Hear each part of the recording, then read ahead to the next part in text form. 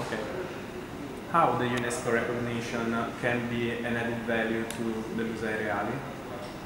Uh, first of all, uh, mm, being recognized as a UNESCO site means um, having the opportunity of building network with other places and other experiences. So that is very important. And having access, easy access to policies that are very important for us.